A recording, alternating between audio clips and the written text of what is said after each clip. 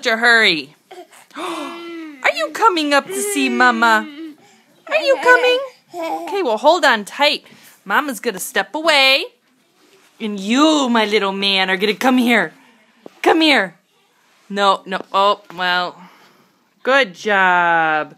Come walk to Mama. Look at you. Come here. Come here, Wyatt. Great job. Oh, oh, oh. Brianna, now was that very nice? You just pushed your brother. You pushed him. Now, can you give Wyatt a kiss? Give Wyatt a kiss. Tell him you're sorry. No, no, you don't hit him. Give your brother a kiss. You give Wyatt a kiss? Huh?